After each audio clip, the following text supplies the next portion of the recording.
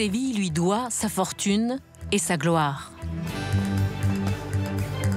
Les Arabes l'avaient baptisé le grand fleuve, Oued el-Kébir, Guadalquivir.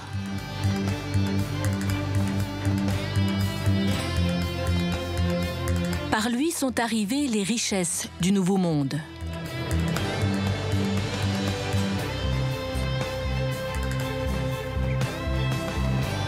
Son cours est aujourd'hui canalisé pour traverser la ville.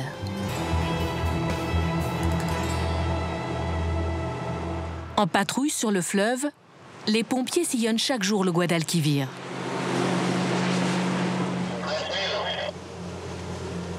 Antonio ne se lasse pas de ce décor.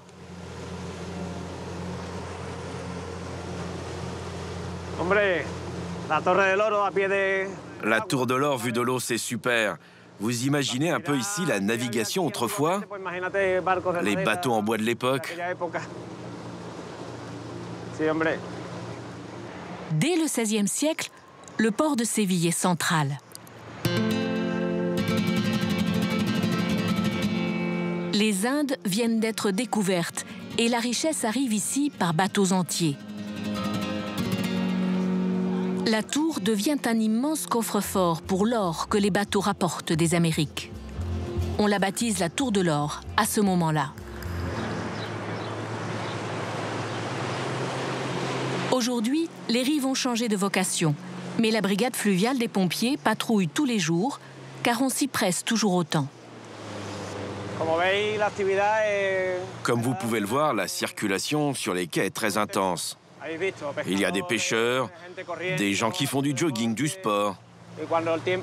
Et quand le temps le permet, les gens se font bronzer, torse nu, comme si c'était une petite plage. En dehors de mon travail, j'y viens pour faire du sport.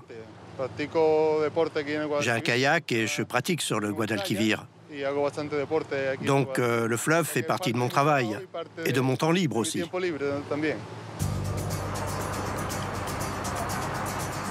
Dès qu'il fait beau, le fleuve canal prend des couleurs. Et la circulation peut y être dense.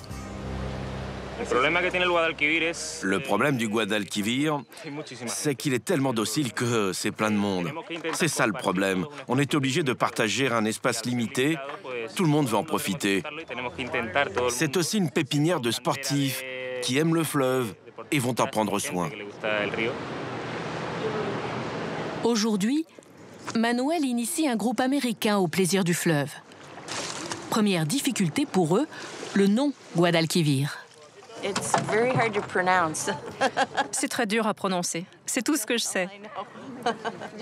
C'est une autre façon de voir la ville? Ce fleuve est tellement important pour la ville. C'est bien de le voir de près. Vous devriez venir avec nous. Well, guys, are you ready? Yeah. Let's go.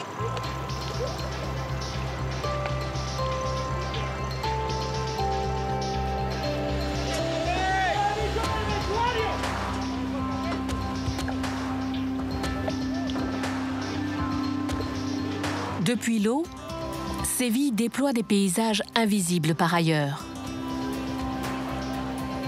Le pont Isabelle II et la tour de la cathédrale. L'architecture ocre et blanche qui renvoie la lumière. En longeant le quartier de Triana, on se prend à envier ses voisins directs du Guadalquivir, qui depuis leur terrasse peuvent contempler le fleuve. C'est la première chose que voit Antonio quand il se lève. Je trouve que c'est très agréable. C'est très reposant.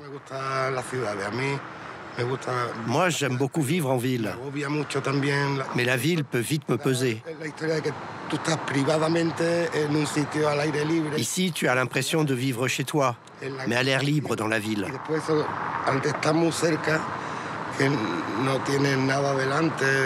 Et c'est ça le charme de la maison. Le fait d'être près, mais sans vis-à-vis, c'est autre chose.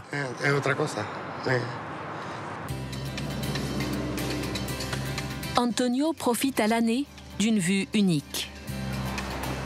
Le quartier de Triana a toujours été le plus proche du Guadalquivir. C'est ici que se recrutaient les futurs navigateurs. Et c'est au bord du Guadalquivir que le roi fonde, au XVIIe siècle, une école de marins. Les élèves peuvent ainsi observer les mouvements des bateaux depuis la tour d'angle.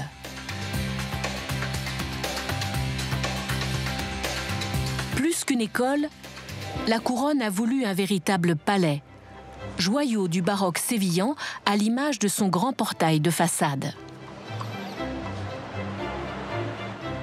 On commence au second niveau l'idée d'école avec différentes matières qui composaient les enseignements, l'astronomie, l'arithmétique, etc., sont personnifiés comme femmes.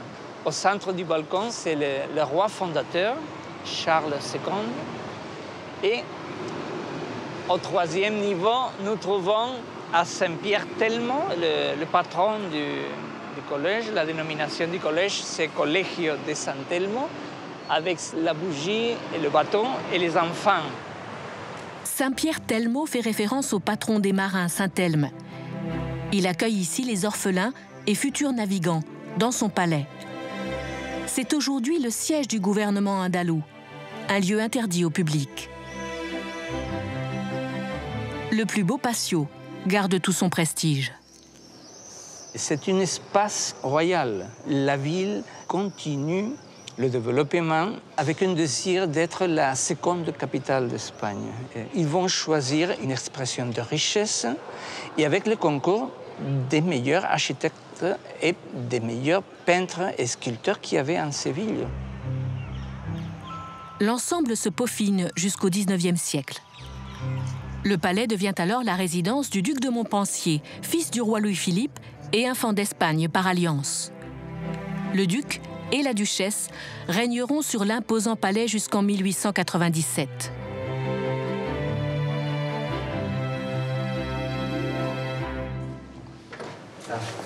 Au cœur de leur demeure, ils font, de la chapelle de l'école, leur chapelle privée.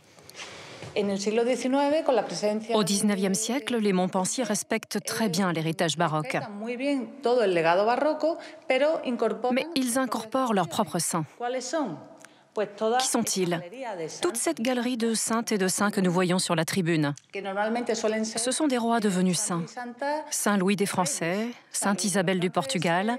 Ils associent toujours sainteté et royauté. Royauté de droit divin et protection des marins. Les deux thèmes de la chapelle se retrouvent dans chaque décor, chaque fresque, chaque statue. L'importance des bateaux ici est fondamentale. La Vierge elle-même porte un bateau en argent qui est une pièce exceptionnelle, baroque.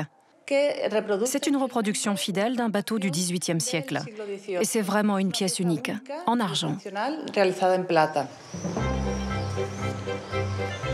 Aujourd'hui, les anciens jardins du Palais San Telmo sont devenus le parc Maria Luisa, un lieu de promenade privilégié, aménagé par un jardinier français. Jean-Claude Nicolas Forestier, c'est le nom du jardinier, un jardinier prestigieux qui, qui, arrive de France, mais il n'a pas venu avec un concept euh, français ou venu de Versailles. Pas. Il s'adaptait, il a respecté, il a été très respectueux avec toute les formations des arbres qu'il existait, avec la nature réellement, et il a pris une échelle plus humaine. Avec Forestier, le jardin s'offre comme une suite de grands salons et de petites chambres.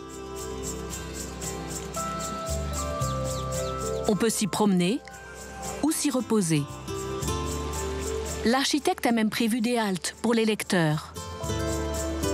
En 1929, ce jardin accueille l'exposition ibéro-américaine. L'Espagne crée alors, au bout de l'allée centrale, un édifice imposant.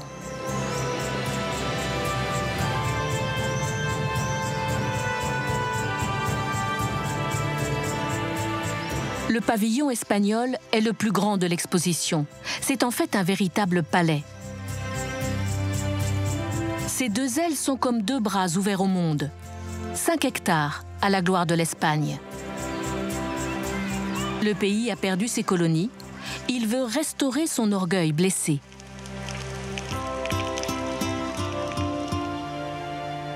La céramique andalouse est partout. La démonstration est magistrale.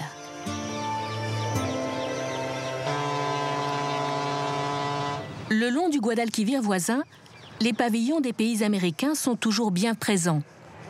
Celui du Guatemala, le pavillon du Mexique et celui de la Colombie, aujourd'hui son consulat.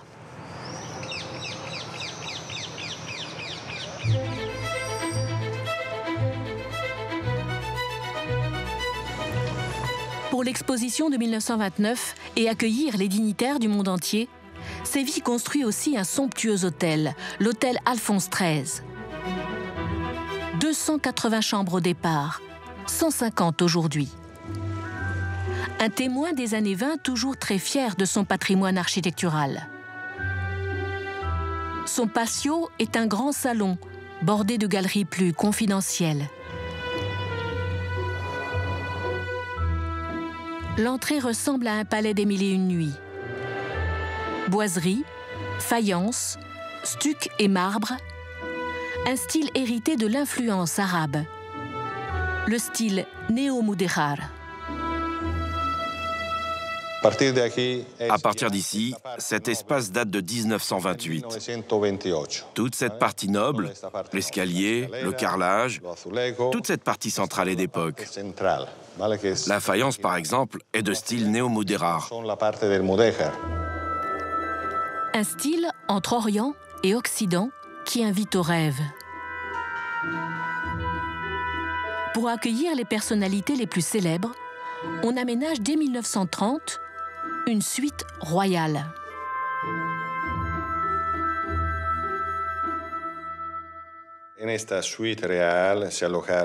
Dans cette suite royale, ont dormi beaucoup de familles impériales et royales. La cliente la plus assidue de cette suite était Doña Maria, comtesse de Barcelone et grand-mère du roi d'Espagne. Nous avons aussi reçu l'empereur du Japon, la famille royale anglaise et des acteurs célèbres comme Tom Cruise. Des artistes aussi comme Madonna. C'est une suite très spéciale et sûrement une des plus belles d'Espagne.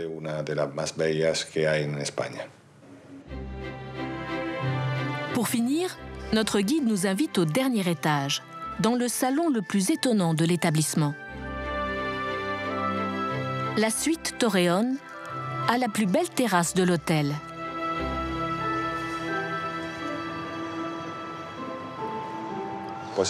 Ici, c'est vraiment un endroit exceptionnel, avec une vue magnifique sur la ville.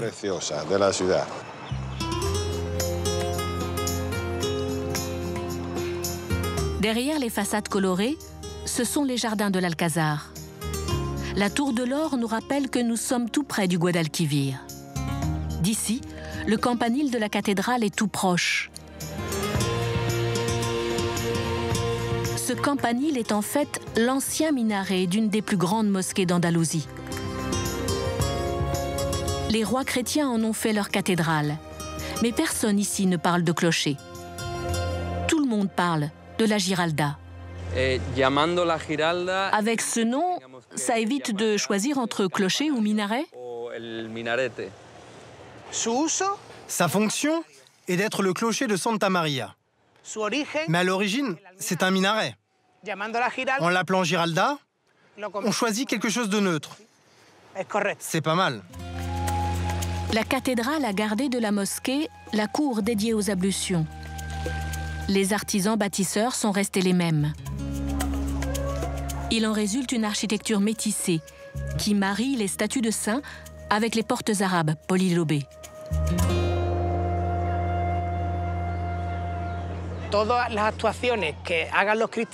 Les chrétiens étaient persuadés qu'une église avait préexisté.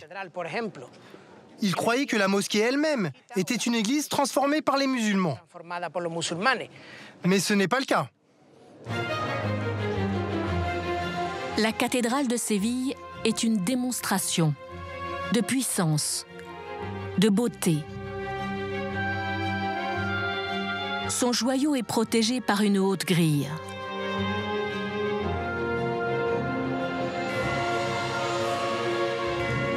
Avec ses 28 mètres de haut, le plus grand retable du monde vous submerge. Il faut s'approcher pour que vivent soudain ces centaines de figures du Nouveau et de l'Ancien Testament.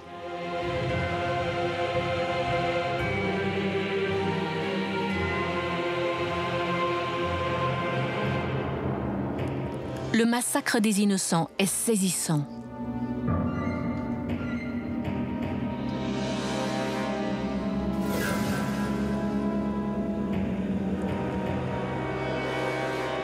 Chaque visage est unique. Il a fallu presque un siècle pour sculpter ce retable. Une fresque de bois et d'or pour sceller la reconquête.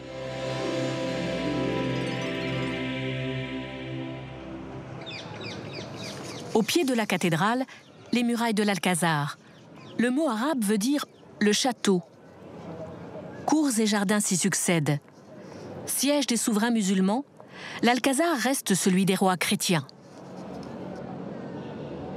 Après la reconquête par le roi Ferdinand III, ce qui s'est passé, c'est que le roi est venu vivre ici. Et comme ça, jusqu'à aujourd'hui, la plupart des rois qui ont euh, régné en Espagne, même si la cour était établie ici à Séville ou pas, ils venaient séjourner ici. Donc ils continuent à être la demeure royale. Donc quand euh, le roi vient en visite officielle, ils doivent obligatoirement séjourner ici.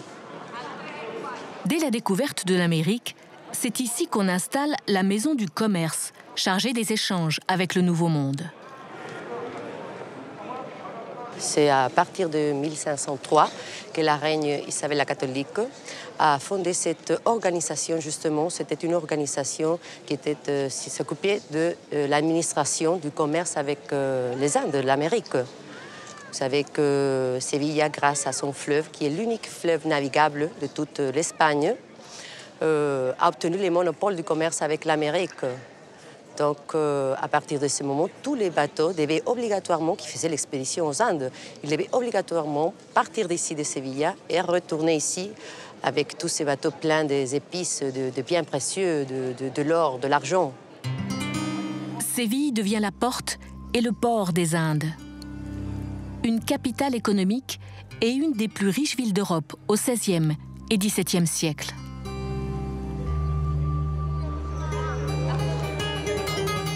Dans la même cour, une autre façade attire le regard. On dirait un palais arabe, jusqu'aux calligraphies de faïence. Mais les armes qui figurent aussi dissipent le doute. C'est Pierre Ier de Castille qui commande ce palais royal au XIVe siècle le roi chrétien utilise l'excellence de l'art arabe. Il emprunte même au roi Maure de Grenade ses meilleurs artisans. Vous devez penser que euh, le roi castilien était habitué à, des châteaux obscurs, euh, très austères, avec de l'ombre. Et, donc, quand ils sont arrivés à la Séville musulmane, ils ont vu les, palais musulmans et ils admiraient ces constructions. Hein la décoration, le couleur, la beauté des plâtreries. Et c'était magnifique pour eux. Dans la salle du trône, la coupole est un ciel où se répondent les symboles de la Castille et du Léon. Géométrie, moucharabier, Pierre Ier met l'art mauresque au service de sa couronne.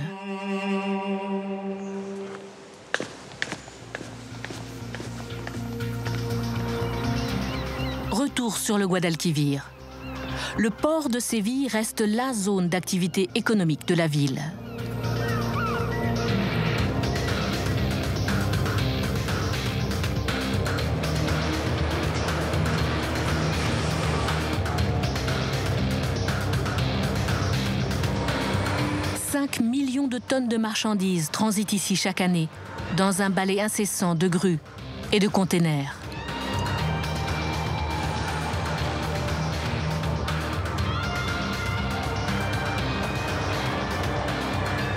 850 hectares de darses, entrepôts et entreprises, soit le tiers de la surface de la ville. Séville s'est créée il y a plus de 2000 ans parce qu'il y avait un fleuve navigable qui permettait de sortir des marchandises et d'en apporter.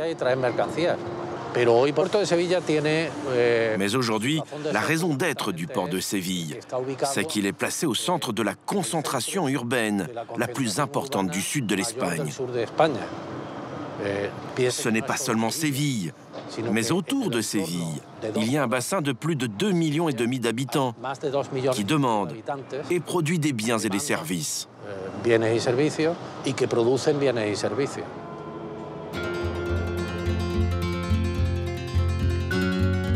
À l'ouest, un lieu unique et étonnant conjugue deux patrimoines. De hautes cheminées au cœur d'un monastère.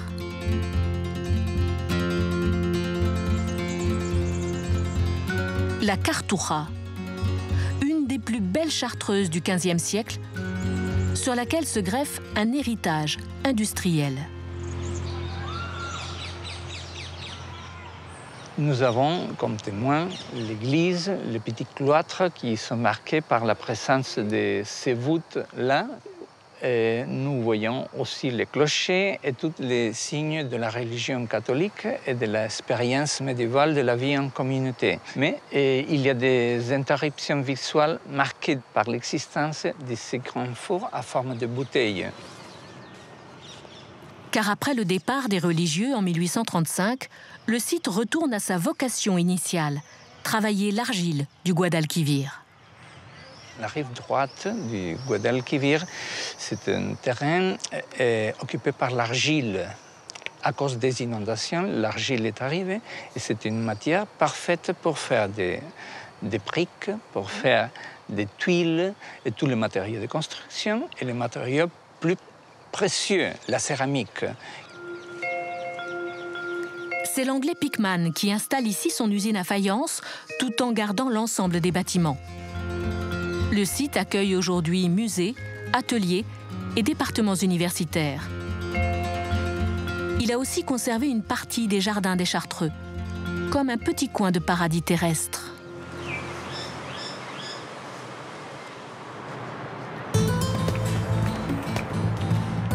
Sommes le 20 juillet et Triana prépare aujourd'hui sa plus importante procession de l'été. Dans la petite église, les fleurs arrivent par centaines, roses blanches surtout, pour la Vierge du Carmen.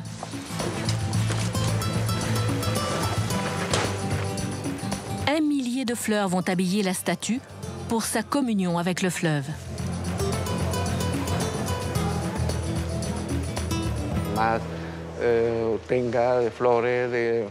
Plus il y a de fleurs et de bougies, plus nous l'honorons. C'est comme ça qu'on la célèbre. Nous apprêtons aussi la statue de la Vierge avec des bijoux, comme si c'était une femme.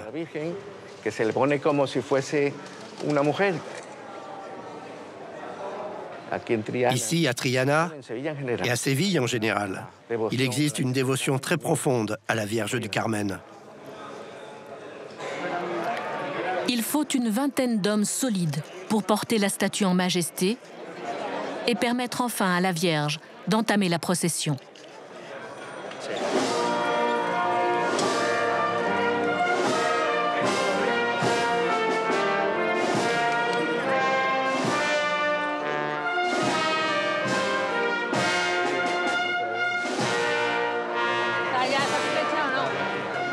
19h30.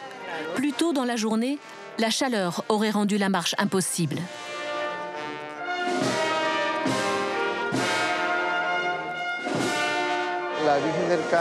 La Vierge du Carmen est la sainte patronne des marins de mer, comme d'eau douce. Ici, nous avons eu beaucoup de marins depuis le XVe siècle jusqu'à aujourd'hui. Ainsi, nous fêtons notre fleuve qui est si important pour Séville.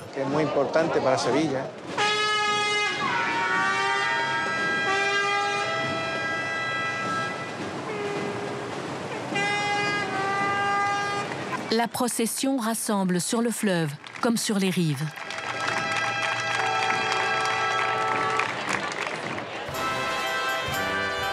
De retour sur la terre ferme à la nuit tombée, le cortège envahit les ruelles du quartier de Triana. Chacun veut saluer la Vierge, se placer sous sa protection. Et comme un ultime hommage au Guadalquivir, la foule se rassemble sur le pont.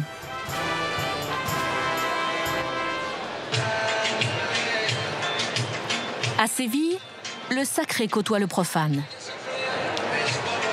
Sur les quais, la fête a démarré à minuit. La vella de Sainte-Anne et Saint-Jacques est l'occasion pour les habitants de fêter ensemble leur quartier.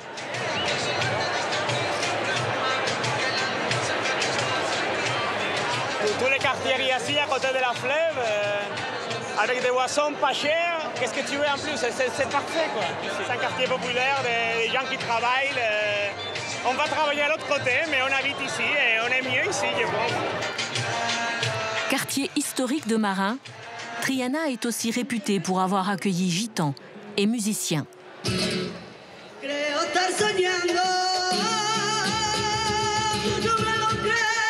Flamenco est né à Séville, sur cette rive où se côtoyaient gitans, maures et juifs déclassés.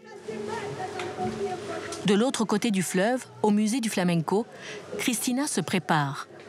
Elle entre en scène dans 10 minutes. Séville a son propre style de flamenco, qu'on appelle la sevillana. C'est une danse précise où l'on danse beaucoup avec les mains. Ça vient de notre maître, Cristina Hoyos.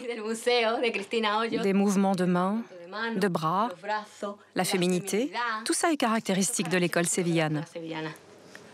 Chaque robe teinte aussi la danse de passion ou de fantaisie. Plus qu'un spectacle, le flamenco est un partage. Le flamenco est une danse individuelle, mais quand on danse avec quelqu'un, tout dépend du style de la danse. Aujourd'hui, par exemple, je danse avec mon mari. Donc, si nous dansons des styles joyeux, nous devons transmettre cette joie. C'est de la complicité sous le signe de la joie en nous amusant. Si on danse un autre style comme la seguidilla, qui est sérieux, douloureux, nous devons transmettre cette souffrance à nous deux.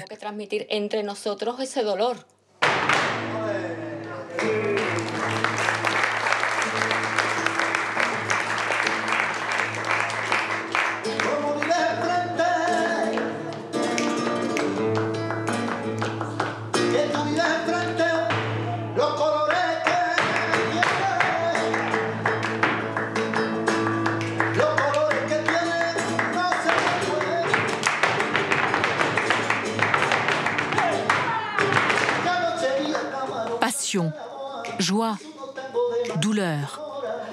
Le flamenco est tout cela, et même plus.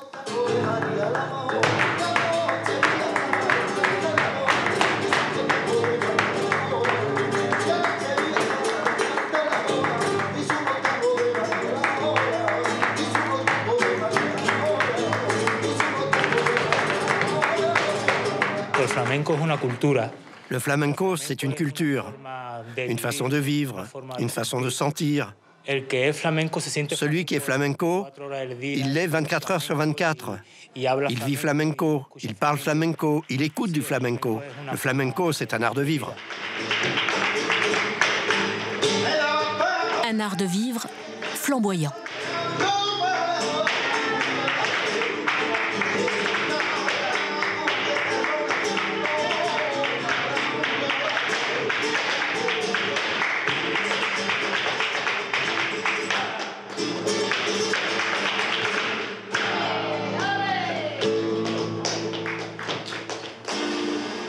Sur les berges de Triana, la fête la plus populaire de l'année se prépare.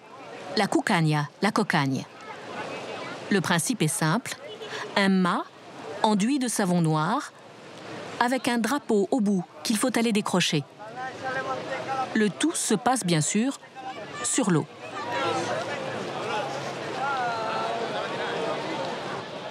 Santi ne manquerait la fête pour rien au monde. Jusqu'ici, il en était spectateur, cette année, il a décidé de s'inscrire.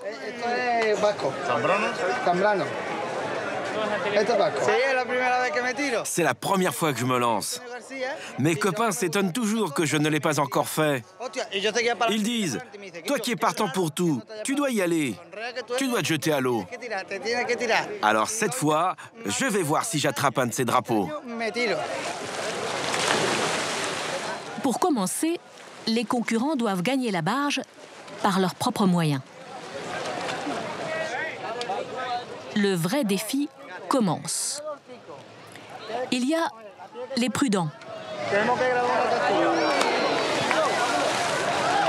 les pieds agiles, les audacieux,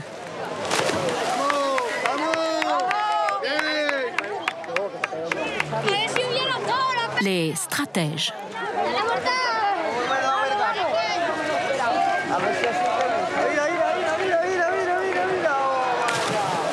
Chacun sa tactique.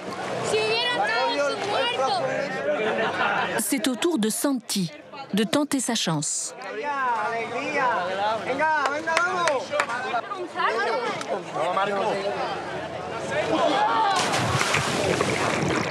Le mât était vraiment trop glissant.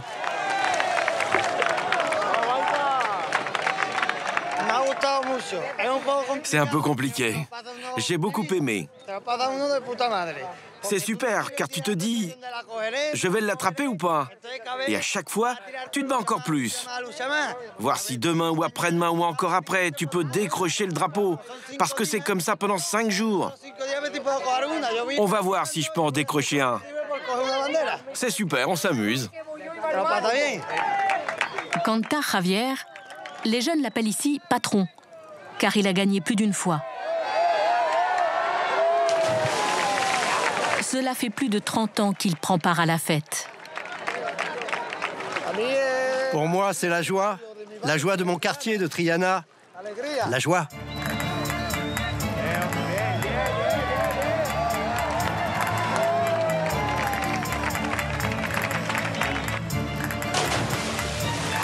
Avant même que le drapeau ne devienne un trophée, la première consécration, c'est le baptême du fleuve.